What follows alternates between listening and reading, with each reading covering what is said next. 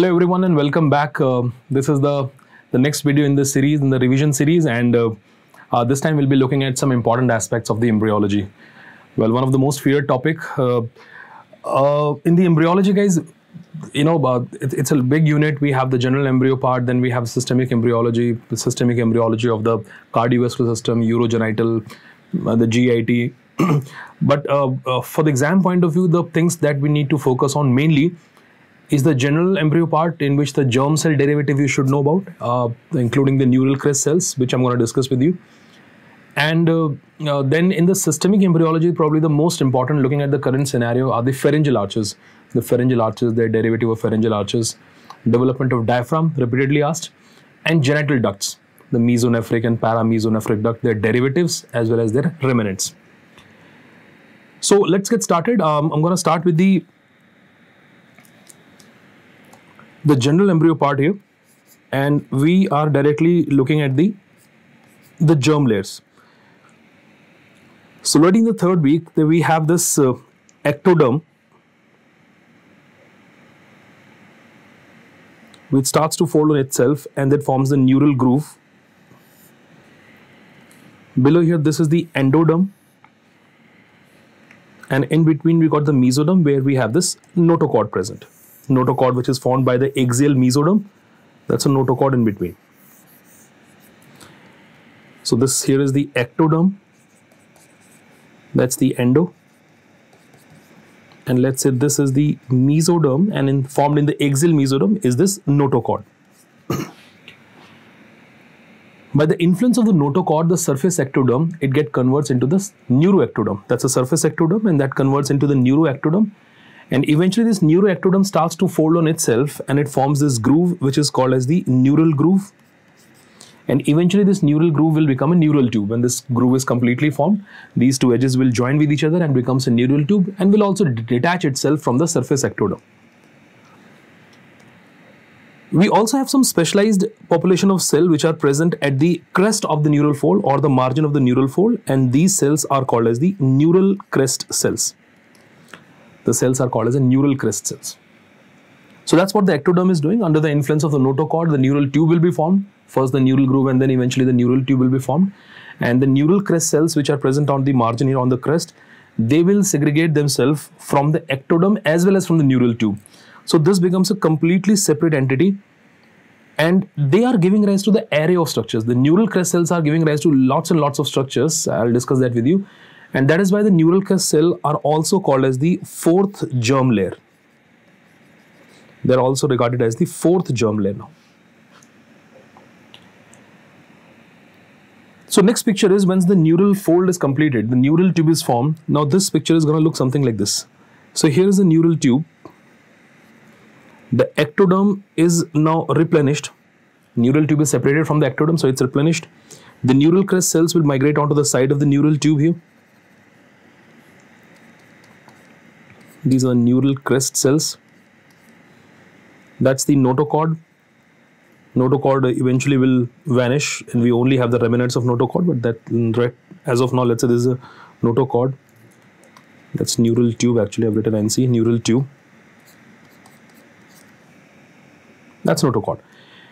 Now the changes are not only taking place in the ectoderm some substantial changes are taking place in the mesoderm also so the, the one which I'm highlighting here, let's say this whole thing is a mesoderm present in between. So we have the changes taking place in ectoderm, the neural tube is formed, the neural crest cells are formed, they're detached from the surface ectoderm. Now what happens in the mesoderm? The mesoderm also divides in three parts. We got a para-axial mesoderm. We have this in between that is intermediate mesoderm and there is this lateral plate mesoderm. so mesoderm also specializes in three different types. We have this para-axial mesoderm,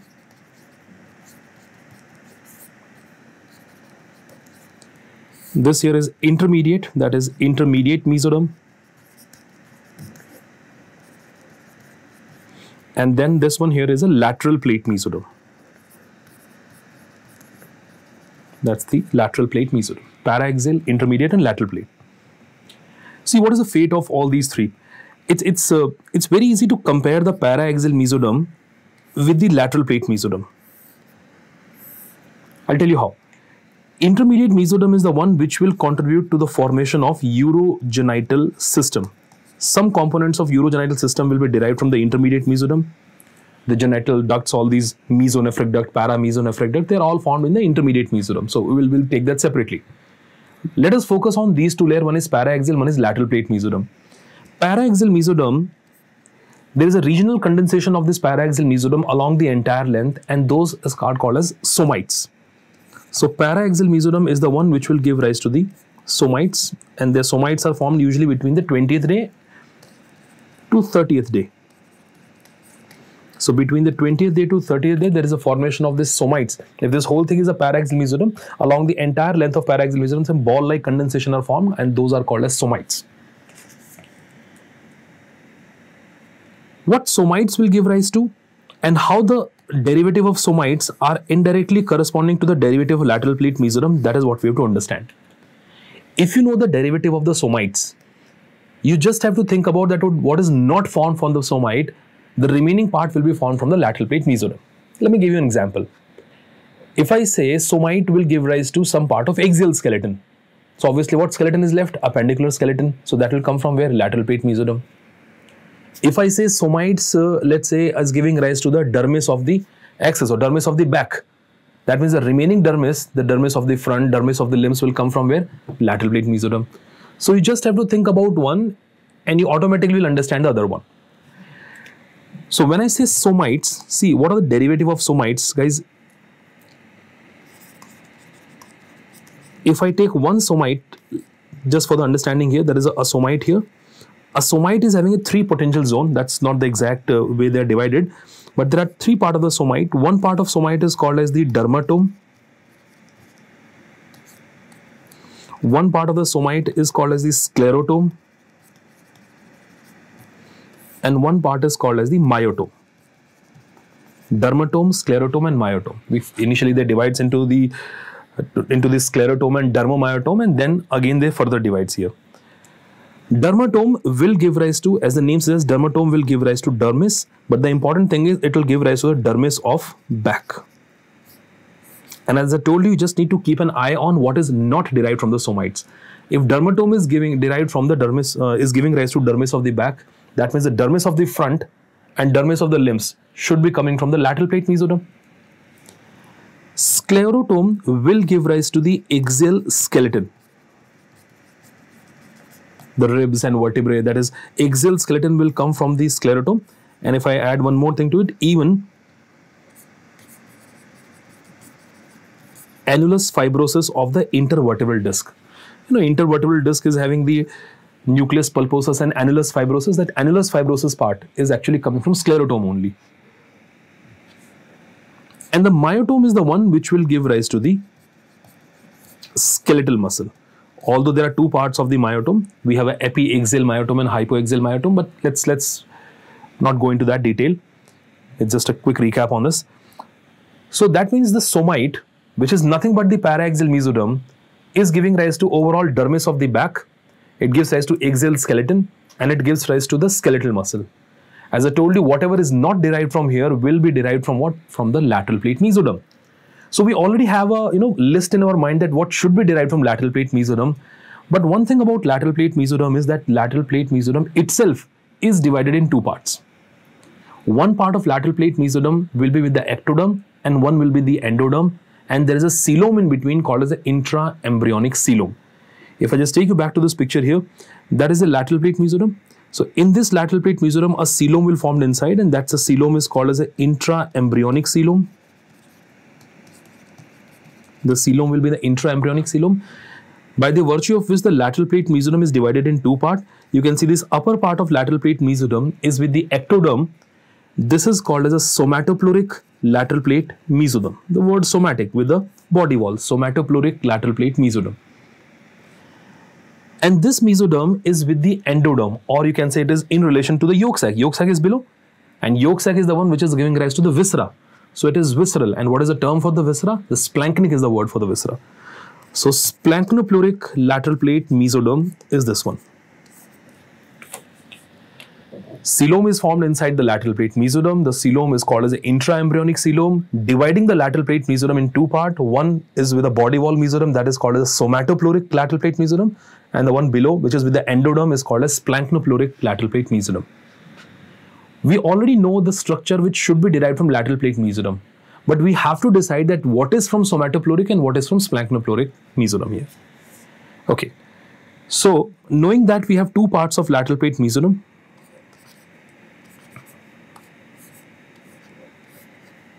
we got a somatopleuric and we have splanchnopleuric lateral plate mesoderm. Okay, first of all guys let me tell you that somato and layer, somatopleuric layer will give rise to all the parietal layers whether it is parietal pleura, parietal pericardium, parietal peritoneum, all the parietal layers will be derived from the somatopleuric. The parietal obviously is with the body wall. They have the same nerve supply and blood supply as well. Splanchnopleuric is obviously with the viscera. So this is the one which will give rise to the all visceral layer. If I say visceral pericardium, visceral peritoneum, visceral pleura, that is all derived from the splanchnopleuric layer. Then we need to think about that what structures are derived from the somites and then justify them one by one. Dermatome part of somites was giving rise to what dermis? But what dermis? Dermis of the back. So we now have to form the dermis of the front and the dermis of the limbs. The dermis of the ventral body wall and dermis of the limbs. Obviously dermis is with the skin. Skin means body wall. That means it is coming from the somatopleuric layer. So somatopleuric layer will also give rise to dermis, but this time it is a dermis of ventral body wall. It is a dermis of the ventral body wall and limbs dermis of the ventral body wall and limbs. I'll again go back there. There was the sclerotome. Sclerotome was forming what skeleton? Axial skeleton. Now we got to form what? Appendicular skeleton. Bones of upper limb, lower limb, the appendicular skeleton. So even appendicular skeleton, even appendicular skeleton is coming from the somatopleuric lateral plate mesoderm parietal layers, dermis of the ventral body wall, limbs, and appendicular skeleton, whatever bones we have in the upper and the lower limb. Splanchnopleuric lateral plate mesoderm. Again, let's think about the somites. what muscles, guys? Muscles over there were formed skeletal muscles. If somites are forming the skeletal muscle, the two remaining muscles are what? Cardiac muscle and smooth muscle. And needless to say, smooth and cardiac muscle are supposed to be with the viscera. So this is the one which will give rise to the majority of the smooth muscles, if not all and even cardiac muscles are derived from the splanchnopleuric lateral plate mesoderm, but it is present at the cranial end. You cannot have cardiac muscle everywhere in the embryonic plate. There's a specific site, there's a cardiogenic area in the embryonic plate, and that is at the cranial end of the embryo. The splanchnopleuric lateral plate mesoderm, that is correct, but not the entire splanchnopleuric lateral plate mesoderm, the one which is present at the cranial end of the embryo. Again, smooth muscles, yes, there are some exceptions in smooth muscles like sphincter pupillae and dilator pupillae are by neuroectoderm, so smooth muscles which are uh, like present in the mammary gland or sweat gland, they come from the surface ectoderm. So some exceptions are there, but majority of the smooth muscles will come from splanchnopleuric lateral plate mesoderm. So with this broadly, we know that what is a derivative of the, the somites and what are the derivatives of lateral plate mesoderm. So I suggest you that always read them together. Somites, if you know, automatically you know about the lateral plate mesoderm. Only thing you have to decide whether it is from somatopleuric or it is from the splanchnopleuric layer. Intermediate mesoderm we'll talk about in a while when we'll talk about the genital ducts they are coming from the intermediate mesoderm. Now the one important thing that we uh, still have to discuss here in this portion is the neural crest cells. What about the derivative of neural crest cells? Neural crest cells as I said they are called as a fourth germ layer. They're giving rise to so many structures and especially the mesenchymal derivatives in the head and neck are there a lot of derivatives in the head and neck region. You know, when it comes to neural tube and neural crest cells, guys, remember one thing. Neural tube and neural crest cells, what is the common thing between the two? The common thing is they both are derived from the, the neuroectoderm. They're both coming from the uh, ectoderm only. That means when you talk about the derivatives of the neural crest cells and neural tube, there's something has to be common between the two. The common thing is when you say neural tube, neural tube will give rise to all the components of central nervous system all the components of central nervous system will come from the neural tube. whatever the, the cerebrum and cerebellum and all that, you know, even the, the, the cells which are doing the myelination for them, the oligodendrocytes, oligodendrocytes will also come from neural tube. So if it is a component of CNS like optic stalk, retina, yeah, they're all coming from the, the neural tube only. So they are actually component of the neural tube itself. But when it comes to the neural crest cells, we have two different type of derivatives. The two type of derivatives. What type of two type of derivatives? We have some neural derivatives.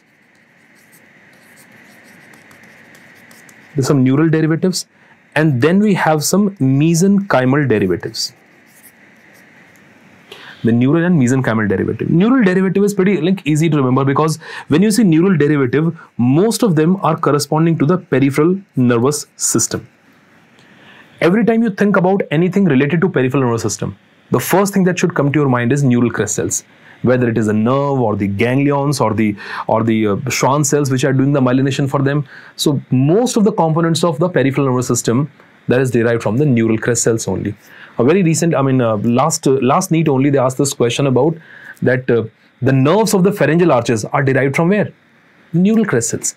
So because they are nerves and majority of the structures in the head and neck region, the mesenchymal derivatives are derived from the neural crest cells only. And anyways, neural crest cells are giving rise to the, the peripheral nervous system part.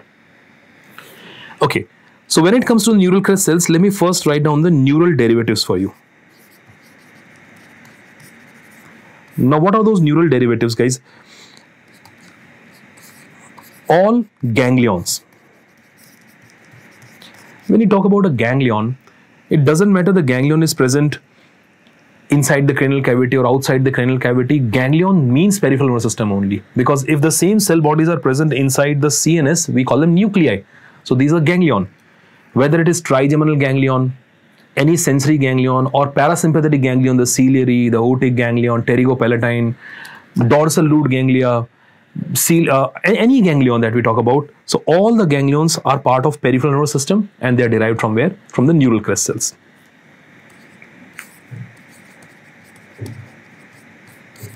Enteric plexuses. Enteric plexus, guys myenteric plexus, Auerbach's plexus. You know, you, you read about all these plexus are actually present in the wall of the GIT on, and these plexus are obviously outside the central nervous system. So when you say all the enteric plexus, we are again corresponding to the peripheral nervous system. So enteric plexuses are also derived from the, the neural crest cells.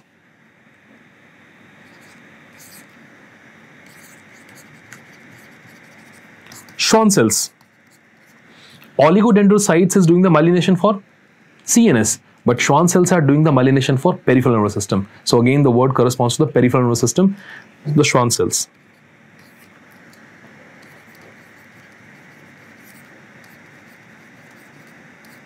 Adrenal medulla. The cortex part is coming from neural crest cells. Uh, this uh, adrenal medulla part is coming from the uh, sorry the from the neural crest cell. They are the neural derivative of the neural crest cells only.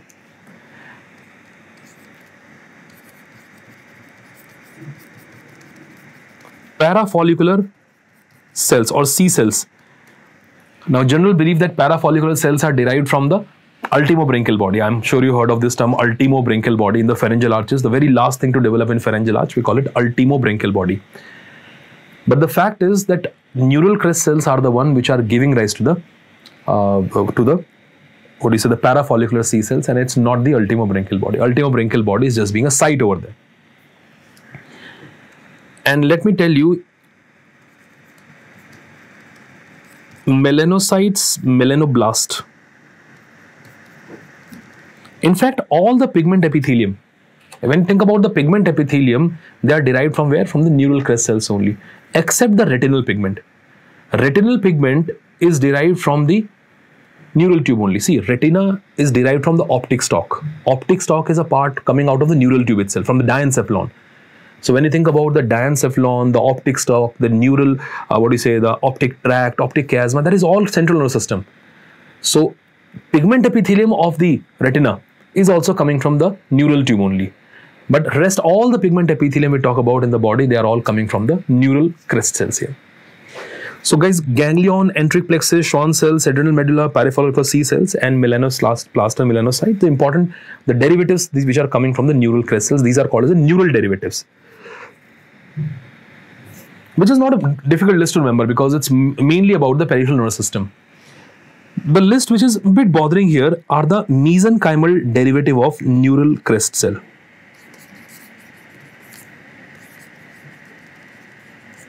Mesenchymal derivative. In the head and neck region, the mesenchyme is derived from the neural crest cell and that mesenchyme is giving rise to so many structures which are actually corresponding to the mesoderm in the rest of the body. I mean, let me give you some example here. The, uh, the, the good way to compare it. I mean, I always suggest if you get a question on the neural crest cells, you should never leave it. Even if you don't know the answer, it's it's uh, there's a good way to go about it. Most of the structures which are present in the head and neck, which you may think it should be derived from the mesoderm, maybe from paraaxial or maybe from lateral plate mesoderm, they're usually derived from the neural crest cells. They're derived from the mesenchyme of neural crest cells. Like, let me give you an example. We just said that axial skeleton is coming from where? Somites. Somite is what? Paraaxial mesoderm. We said appendicular skeleton is coming from where? Lateral plate mesoderm, mesoderm. So whatever skeleton we talked about, it is all coming from the mesoderm only. But majority of the head and neck skeleton, majority of the skull bones, they are actually derived from where? From the neural crest cells. We said dermis of the front, dermis of the back, dermis of the limbs coming from where? Mesoderm. Whether it is lateral plate or paraaxial mesoderm. But dermis in the head and neck region, it is again coming from where? The neural crest cells. So this may not go with everything, but most of the structures in the lower part below the head and neck region, which is actually derived from mesoderm, the same kind of corresponding structures in the head and neck are derived from the mesenchyme of neural crest cells. Let me write some derivatives for you, like skull bones.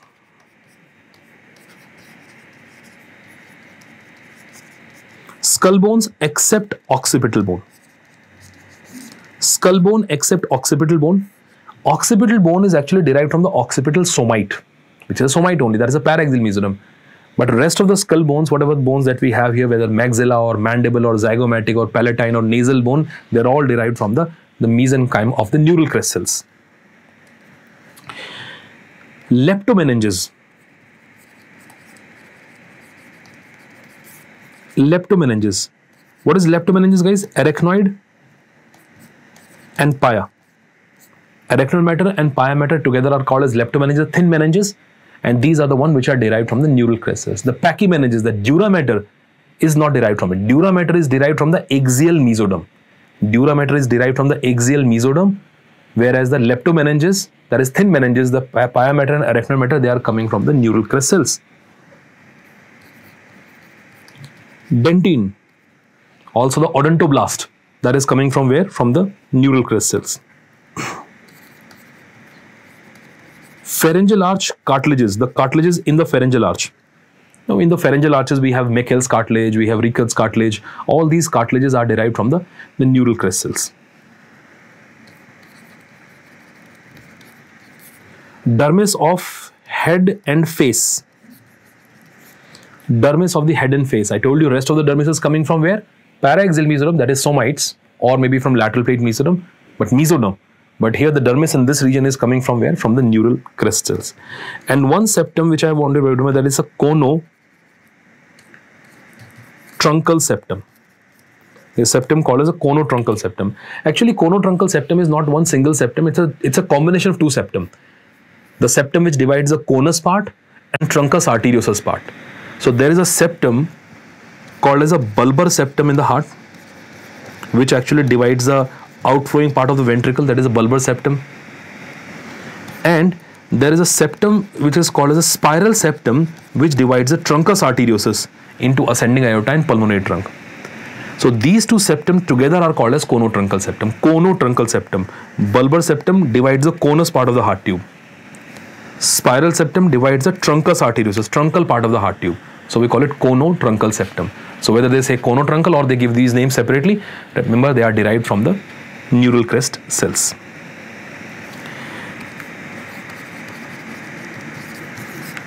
Choroid and sclera of eye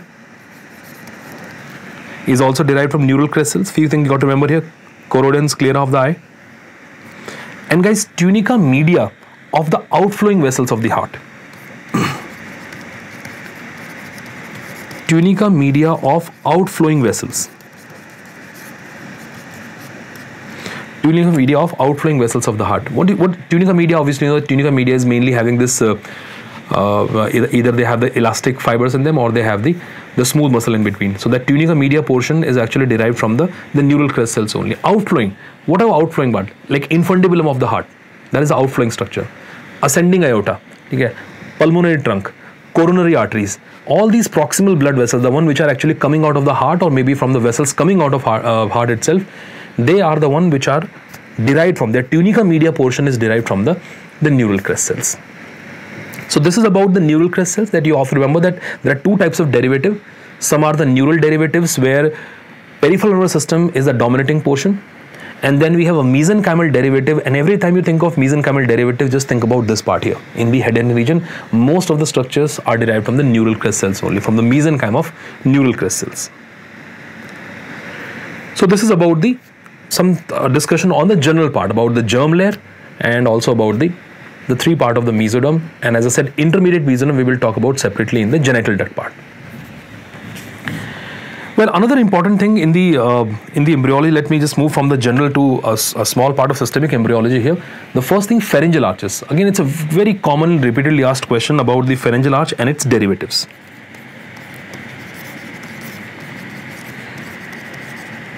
So let me very quickly go through the pharyngeal arches and, and the derivatives. So when you look at a pharyngeal arch, guys, they are the core of mesoderm, these pharyngeal arches,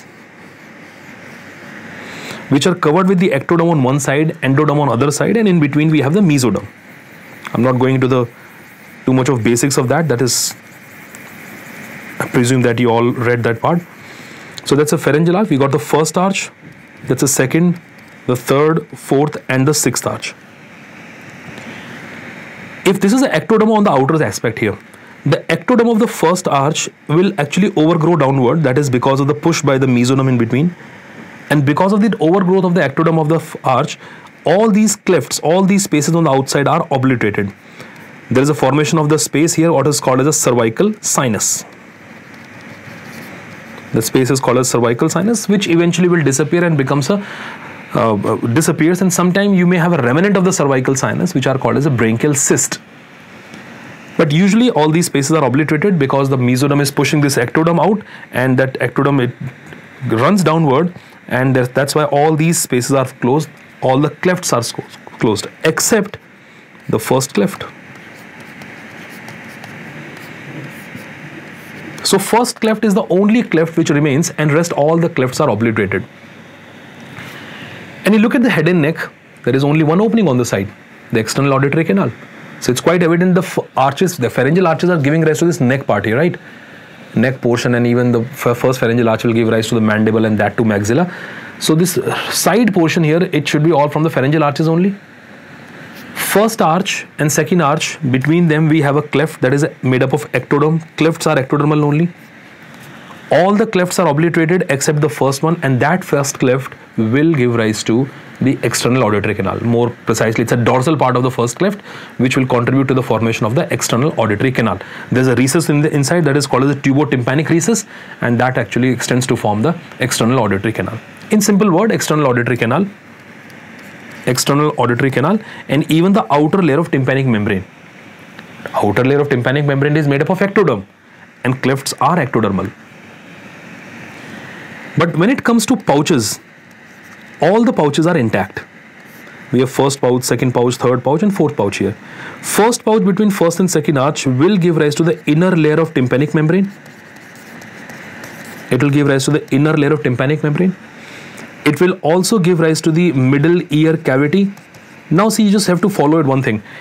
Inner layer of tympanic membrane is facing toward what? Middle ear cavity and then the two extensions of middle ear cavity is we have a eustachian tube anteriorly and mastoid antrum posteriorly. You will see all that in a continuation here.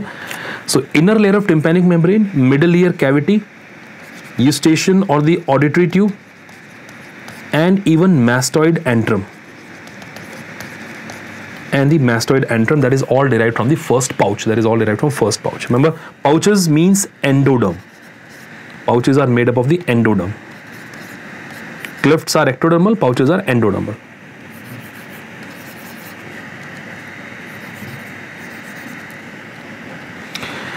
Second pouch will give rise to the palatine tonsil.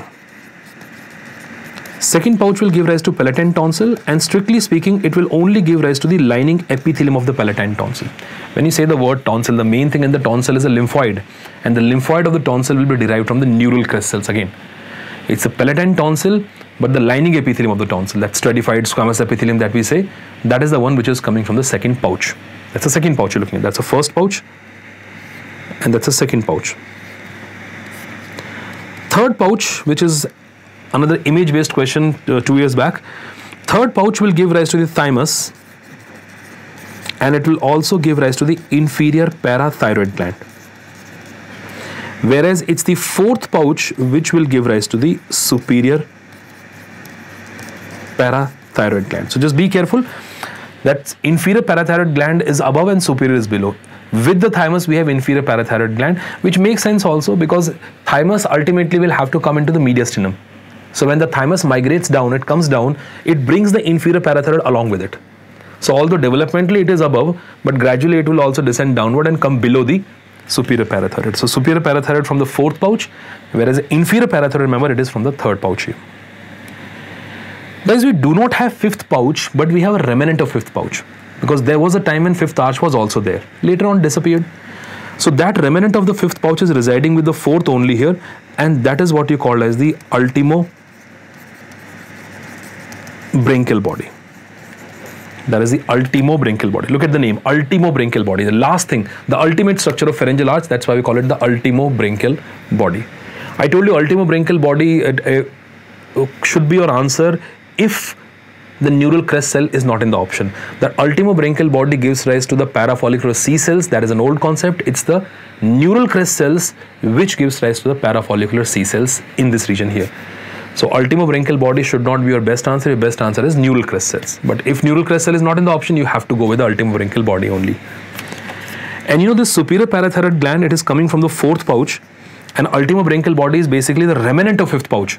So collectively, they are also called as the caudal pharyngeal complex. So remember this term, caudal pharyngeal complex, they might ask you.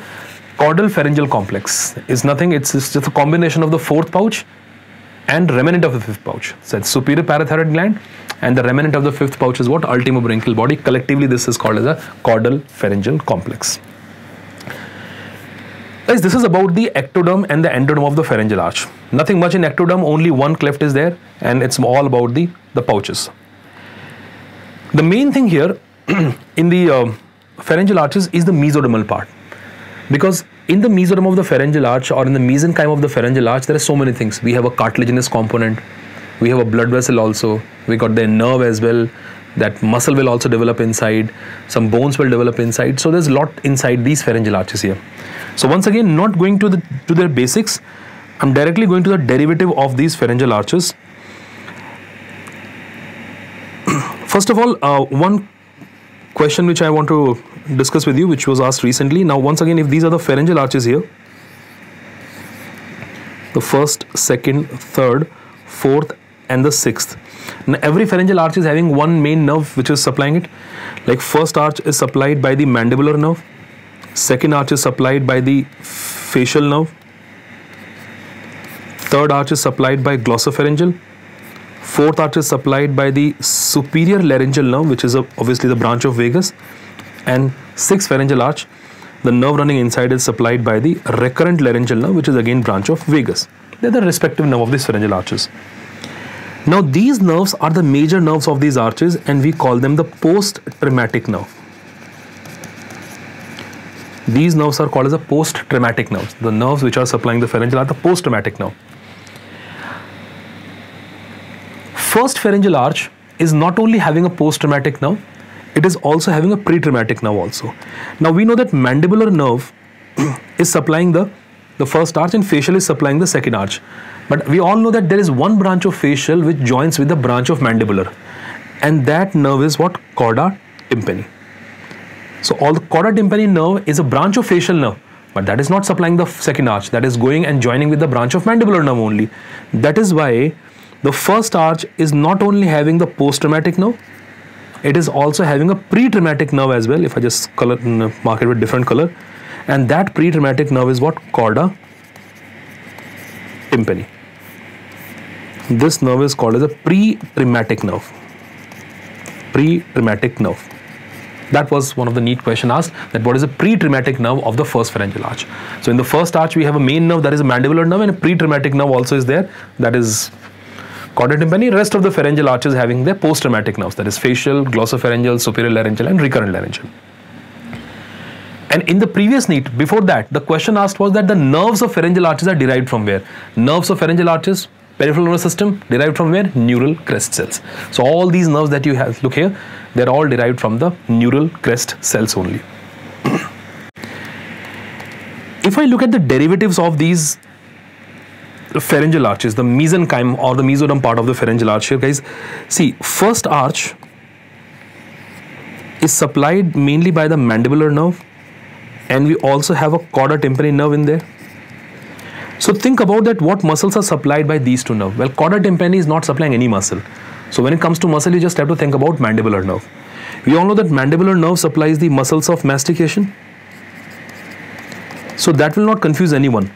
But we also have to think about some other muscles which may not be the muscles of mastication, but they are supplied by mandibular nerve, like tensor veli palatini, tensor tympani, mylohyoid and anterior belly of digastric.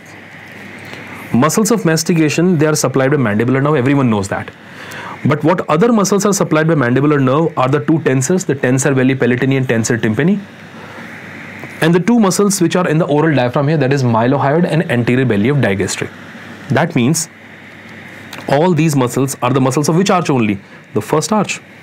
So if the question is asked, what are the first arch muscle?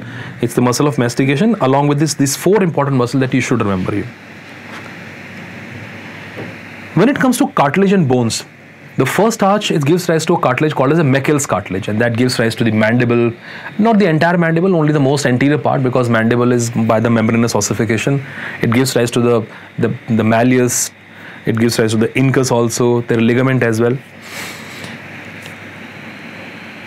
So when it comes to the cartilage and the bone in the first arch, I can say that first arch directly will give rise to the mandible. I'm not saying mandible is derived from Meckel's cartilage entirely. Only the most anterior part of the mandible is coming from Meckel's cartilage. But first arch, the mesenchyme of first arch is giving rise to the mandible. Mandible, malleus and incus some ligaments are also there, like anterior ligament of malleus and sphenomandibular ligament. I'm not going into that detail. So mandible, malleus, and incus. Remember the broad thing here. These are the bones which are derived from the first arch. And we also have the artery supplying the first arch or the artery which is developed from the first arch artery. So first arch artery remnant is actually the maxillary artery. Artery for the first arch is the maxillary artery. So that's the bare minimum information that you should have about the pharyngeal arch the first pharyngeal arch. First pharyngeal arch, the special arch because it is having two nerves. We have a post-trematic nerve that is mandibular. We have a pre-trematic nerve that is the chorda tympani. Muscles, think about muscles supplied by mandibular nerve. Muscles of mastication and four other muscles here. Cartilage and bone, all these bones in here. Mandible, malleus and incus. They are derived from the first arch artery, the first arch artery remnant, that is a maxillary artery. And just the way you can remember the maxillary artery, muscles of mastication, tensor veli palatini, tensor tympani, mylohyoid, anterior belly of digastric. If you think about the blood supply of all these muscle, it is all by maxillary artery only. Maxillary artery is the largest branch of external carotid and that is giving off so many branches and that supplies the muscle of mastication and even the muscles which are present here in the floor of the mouth here. So all these muscles are supplied by the maxillary artery. Their nerve supply is mandibular nerve, but their artery is maxillary artery. Similarly, the second pharyngeal arch, it is just a quick re recap, guys. So I'm not going into the too much detail of this. I just this is especially for the people who have like read all these things, and I'm just trying to like quickly revise it for you. The second pharyngeal arch, the nerve is a facial nerve the post-trematic nerve only and then it comes to facial nerve. Obviously what muscles will be there? The facial muscles are there. Apart from facial muscle the two more important muscle which you should remember one is the stapedius. Posterior belly of digastric and stylohyoid. Although auricular muscles and occipitalis is also there but I'm, as I said just the important one. Facial muscles. One muscle in middle ear stapedius supplied by facial nerve posterior belly of digastric and running with the posterior belly of digastric is a stylohyoid muscle. The muscles, they're all supplied by the facial nerve and that's why they're the muscles of the second pharyngeal arch. When it comes to the cartilage and the bone in the second arch, the cartilage in the second, uh, uh, in this is, it gives rise to the stapes. Stapes except the foot plate. Except the foot plate of the stapes which is actually derived from the otic capsule. It will give rise to the styloid process,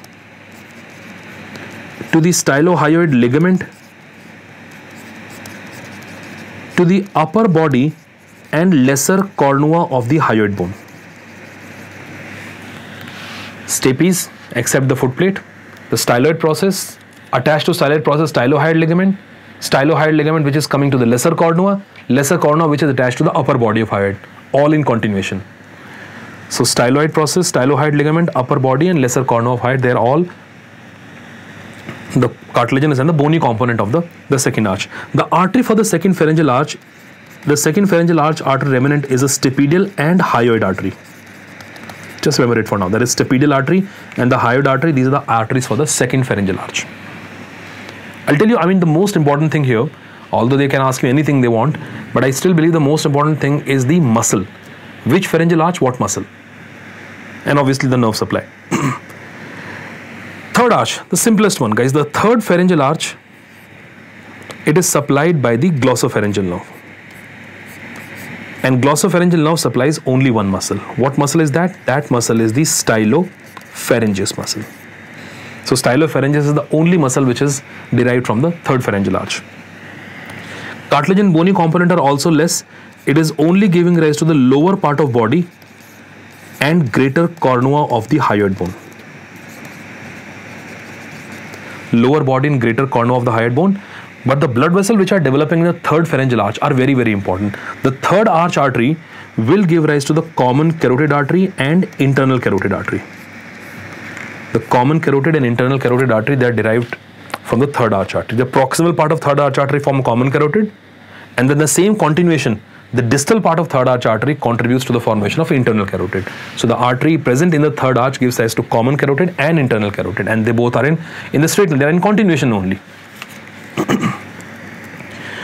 fourth arch and sixth arch. Now this is a bit challenging here because fourth and sixth arch they both are by the vagus nerve.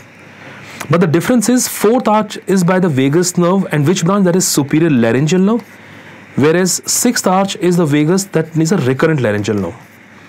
So once again, you have to use your knowledge of the cranial nerves here to imply, guys. Superior laryngeal nerve, it comes and divides into one external laryngeal and internal laryngeal.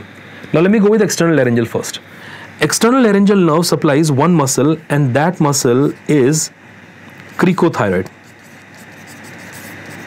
So I can say cricothyroid is a muscle which is derived from the fourth arch because it is supplied by the branch of superior laryngeal nerve. Now cranial accessory nerve it is also supplying the muscles in the palate and pharynx. In fact, that is the main nerve supplying the muscles in palate and pharynx, but not directly. The property of cranial accessory nerve is it supplies the muscles of palate and pharynx via vagus. It will go through vagus nerve and then it will contribute to the formation of the pharyngeal plexus. So although it may look like that muscles of palate and pharynx are mainly supplied by vagus nerve, but the fact is they are actually indirectly supplied by cranial accessory using vagus, via vagus. That's why we also call it the vago accessory complex. So whatever muscles are those that is muscles of palate, the muscles of palate and muscles of pharynx, muscles of palate and muscles of pharynx with obviously some exception here. Muscles of palate except tensor veli palatini. Well of course guys because tensor veli palatini we just said is there in the first arch. That is tensor veli palatini is already supplied in the by the mandibular nerve in the first arch. So all the muscles of palate but except tensor veli palatini.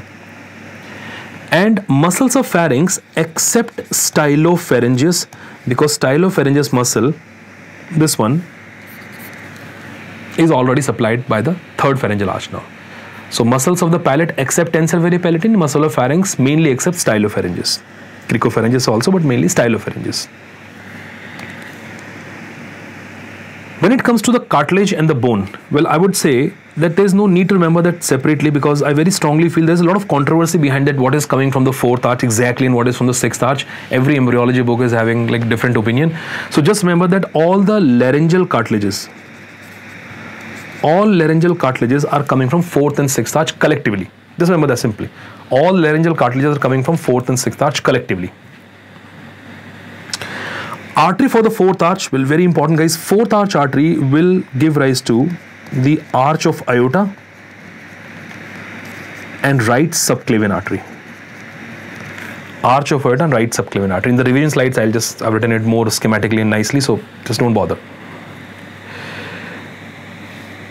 Sixth arch artery uh, sixth arch, uh, vagus nerve, which branch of vagus nerve? Recurrent laryngeal nerve. Again, think about cranial nerve. When the recurrent laryngeal nerve comes back, it supplies what? It supplies the laryngeal muscles. That means all the laryngeal muscles will be there. So laryngeal muscles are derived from what arch? From the sixth arch, except the cricothyroid, which is already covered there above, except cricothyroid. And even one muscle of pharynx as well you know inferior constrictor is having two part. One is part is called as a thyropharyngeus and one is a cricopharyngeus part. And we know cricopharyngeus part is the one which is not supplied by the uh, vago accessory complex. It is supplied by the recurrent laryngeal nerve. So crico pharyngeus which is a part of inferior constrictor. So laryngeal muscles except cricothyroid and cricopharyngeus which is a part of inferior constrictor they are derived from the six pharyngeal arch because they are supplied by the recurrent laryngeal. So I always say you should read the cranial nerve first and then the pharyngeal arches. It will become easy for you. If you know the cranial nerves, if you know that what they are supplying, then the, this part is resolved. And finally, the artery for this sixth arch is the pulmonary artery. The sixth arch artery will give rise to pulmonary artery and also the ductus arteriosus, which later on will become ligamentum arteriosum. But the sixth arch artery will give rise to ductus arteriosus and pulmonary artery. So guys, that is a summary of all the pharyngeal arches starting from first to sixth. So it's the main thing is the, the what muscle is supplied by what nerve and that nerve belongs to which pharyngeal arch. That's the most important thing. But they definitely can ask you the question on the bone and cartilage component and even the what artery is derived from in which pharyngeal arch as well.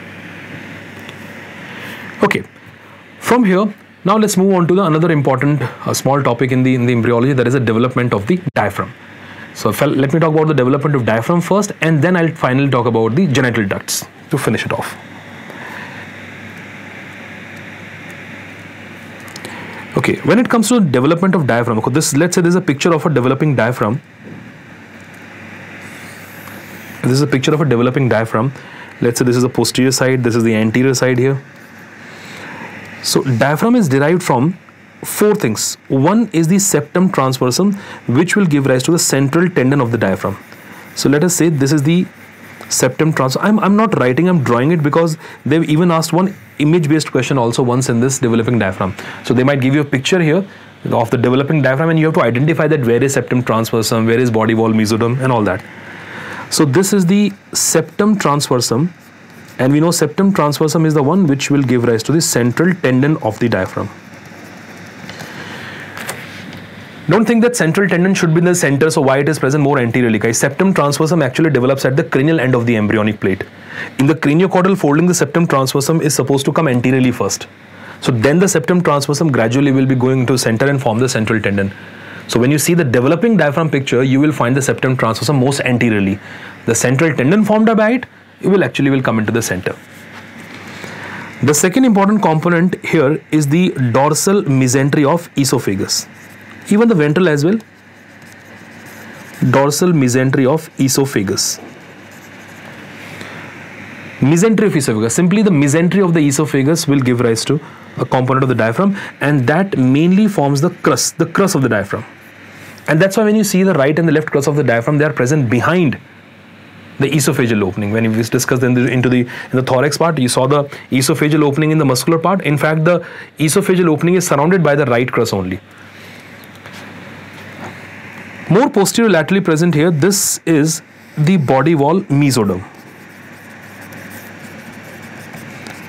Different terminology you'll find it, body wall mesoderm, the one which is actually coming from the cervical myotome. I told you somites are divided into the dermatome, sclerotome, myotome. So the cervical myotome are the one which are giving rise to the muscular part of the diaphragm. Makes sense also guys. Diaphragm is supplied by phrenic nerve and phrenic nerve root value is C3, C4 and C5. So which tells you that C3, C4, C5 tells me that cervical myotome are the one which are giving rise to the diaphragm here. So the muscular part of diaphragm, the main muscular part of the diaphragm, the muscles of the diaphragm, they are coming from the, the body wall mesoderm. And then finally comes probably the most important thing here, the one which is present between all these here. Well, initially the pleura and peritoneum they have a common cavity. There is a pleural cavity and peritoneal cavity. That's a common cavity here. With the development of diaphragm this pleural cavity and peritoneal cavity they start, start separating from each other and we only have a canal in between that is connecting the pleural cavity and the peritoneal cavity that is called as a pleuroperitoneal canal. And eventually this pleuroperitoneal canal is bridged by a membrane called as a pleuroperitoneal membrane. This is the one this here is the pleuro peritoneal membrane. This pleuroperitoneal membrane will be invaded by this body wall uh, mesoderm only. That muscles will actually invade it. Otherwise this membrane will be very very thin. So that's a pleuroperitoneal membrane which is bridging the gap in between there. That is a pleuroperitoneal membrane which is separating the pleural cavity and peritoneal cavity. And why it is important to know? Because if this pleuroperitoneal membrane is not formed see there are two way to say it either you say pleuroperitoneal membrane is not formed or you can say there is a persistence of pleuroperitoneal canal that can give rise to the the Bochdalek's hernia. The congenital diaphragmatic hernia is because of the non-development of this pleuroperitoneal membrane or you can say the persistence of pleuroperitoneal canal. When the pleural cavity and peritoneal cavity they are in, in, in direct contact, the membrane is not separating them, that can give rise to the congenital diaphragmatic hernia which is more common toward the left side and please be careful it is pleuroperitoneal membrane because i saw one uh, once in the AIIMS exam they the question was that which of the following is not giving rise to the diaphragm? And instead of pleuroperitoneal membrane they wrote pleuropericardial membrane. So please be careful it's not pleuropericardial it's pleuroperitoneal membrane which is bridging the pleuroperitoneal canal.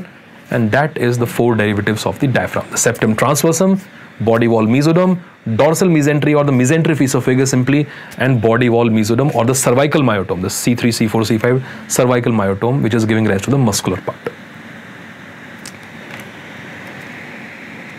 And very lastly, one more thing which I want to tell, uh, discuss with you for the quick recap and that is about the genital ducts. Another important topic from where the questions are very much expected, the mesonephric duct and paramesonephric. So again, very, go very, very quickly into that. Let me take you back to the general part where we said that mesoderm is divided into paraaxial mesoderm, the lateral plate mesoderm and intermediate mesoderm. We already discussed the paraaxial and intermediate uh, lateral plate mesoderm. We said whatever is from the paraaxial mesoderm is not derived from there, will be derived from the lateral plate. In between that we have is an intermediate mesoderm and that intermediate mesoderm will contribute to the formation of urogenital system.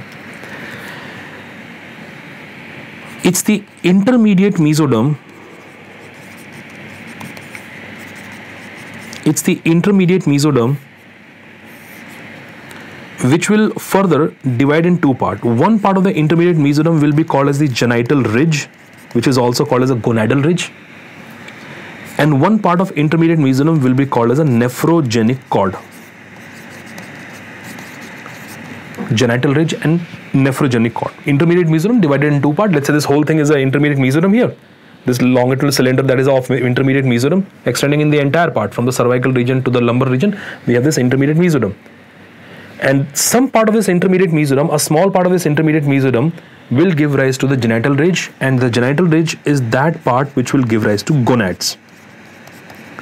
If the question is on the testis and ovary they are derived from where? From the genital ridge. And it's the nephrogenic cord in which there is development of the mesonephric duct and also the paramesonephric duct. Mesonephric and paramesonephric. The nomenclature is based on their location only. The mesonephric and the next to it, the one which is more para, that is a paramesonephric duct. Both are derived from the nephrogenic cord. That means they both are derived from intermediate mesoderm only. So mesonephric and paramesonephric duct. That means whatever is derived from the meso and paramesonephric duct, those structures are ultimately derived from where? From which mesoderm only? The intermediate mesoderm. Guys, mesonephric duct is a kind of duct which is required for both male and female. See, mesonephric duct is the one which will go, invade the urogenital sinus, will get absorbed and form the trigone of the bladder. And trigone is something which is required in both male and the female. If I just keep writing these, that will be a bit easy for you to remember. So if I first write about the mesonephric duct derivatives, in male and in female. So first we need to look at some common derivatives and just, just work your brain around it because you already have discussed in the class also. Mesonephric duct, it get absorbed into the urogenital sinus and form the trigone of the bladder. So if I say one thing which is formed in the male as well as female, it's a trigone. This mesonephric duct is not only limited to formation of trigone, it extends downward also and it goes into the upper part of urethra so what you'll see, the mesonephric duct in male will be forming the proximal part of prostatic urethra. Obviously on which wall? On the posterior wall. But trigone is present on posterior wall only, so this extension going downward into the posterior wall itself. So proximal part of the prostatic urethra, the posterior wall. And also in female, the posterior wall of urethra. Anyways, female urethra is small, so the posterior wall of urethra is also by the, the mesonephric duct. That is what we are looking at in the lower part here. Let's come in the higher part above. In the upper part, mesonephric duct gives rise to a bud and that buds are called as a ureteric bud. I mean, if I just try to show it diagrammatically, guys, if this is, let's say, the intermediate mesoderm, this is the mesonephric duct here, coming down. That's a mesonephric duct and from this mesonephric duct a bud will come out like this and that bud is called as a ureteric bud and this ureteric bud is invading the metanephros. This ureteric bud is invading the metanephros. Metanephros will give rise to the kidney the collecting portion of the kidney. The secretory portion of the kidney I'm sorry. But the collecting portion of the kidney is all coming from the ureteric bud here. So what I'm saying is that ureteric bud is obviously again required for both male and female. So ureteric bud derivatives will be there ureteric bud derivatives. Like ureteric bud derivatives, what are the bud derivatives? We have the entire collecting portion of the kidney. Entire collecting part of the kidney, the collecting tubule, the you know the renal papillae, the the renal pelvis, ureter. Obviously, the name is ureteric bud, so ureter. They're all derived from the ureteric bud, and exactly the same in case of the female as well. So till now what we see that mesonephric duct is something which is required for both sex. It is required for the male as well as for female. Forming the trigone, forming the posterior wall of the proximal urethra. It also forms the ureteric bud and derivatives that is the entire collecting portion. After this point, the mesonephric duct is something which is required only for males because mesonephric duct has to give rise to the genital duct system. It, uh, it has to give rise to the uh, the spermatic pathways. So it will give rise to like the epididymis, the vas deferens, you know, seminal vesicle, they're all derived. So that is in case of male only. So in male, the entire spermatic pathway, the entire spermatic pathway is derived from the mesonephric duct. Don't have to remember the name also. I mean, you know what is spermatic pathway, the epididymis, the vas deferens. In fact, the appendix of epididymis also. Appendix of epididymis a small remnant that we have on the head of the epididymis that is appendix of epididymis. It is also derived from where? From the mesonephric duct. In case of female, nothing like that. So instead of all these, we in female we only have a remnant, and that remnant is called as a duct of Epoophoron, or you people know better with the name of the Gartner's duct. So Gartner's duct is the remnant of the mesonephric duct in female. And I want to warn you for one thing, if the question is asked that what is the location of the Gartner's duct, you people have read in the OBG also and you actually start thinking about the Gartner's cyst. So don't mark vaginal wall. Gartner's duct guys, not the Gartner's cyst. Gartner's duct is present between the two layers of the broad ligament. So if the question is on the Gartner's duct, it is present between the two layers of broad ligament. Yes, the Gartner's duct can lead to the Gartner's cyst, which is present in the upper vaginal wall. But the Gartner's duct location, please go with the, the broad ligament. So that is broadly about the, the mesonephric duct. What is the requirement in male and female? So always first think about that what is a common thing. In both trigone will be formed, required in both the sexes. Upper part of the urethra, both male and female.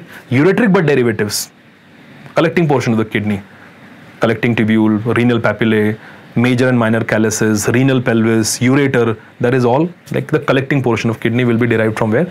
from the mesonephric duct. And after that, in female, we only have the remnant, the Gartner's duct, and male, the entire spermatic pathway, including appendix of epididymis, will come from mesonephric duct. Finally, paramesonephric duct, which is the main duct for female, and male is only having the remnant. So when it comes to the derivatives of paramesonephric duct, derivatives of paramesonephric duct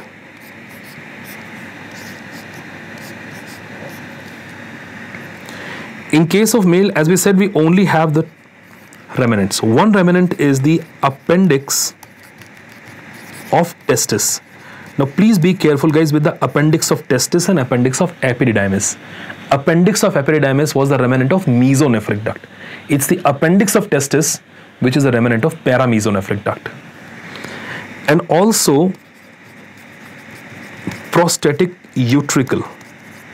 The prostatic utricle on the posterior wall of prostatic urethra, there is a blind diverticulum present. It's a blind diverticulum that is called as a prostatic utricle. This prostatic utricle actually correspond to the vagina in female. So we also call it the male vagina or the masculine vagina, the prostatic utricle. The two remnants, that is paramesonephric duct remnants here. But in case of female, obviously the paramesonephric duct is the main and that is giving rise to the the fallopian tubes it will give rise to the uterus and will also give rise to the upper part of the vagina upper part of vagina because lower vaginal wall is derived from the urogenital sinus it's the upper vaginal wall which is derived from the paramesonephric duct so appendix of testis prostatic utricle that's a remnant only male only having a remnant of the paramesonephric duct and in female, we have all these derivatives that is fallopian tube, uterus and upper part of the vaginal wall. So that is about the genital duct and its derivative. So this is about some important topics, guys, which I believe that before you appear for this NEET exam, I mean, you should go through them and uh, I hope it will be beneficial. Thank you.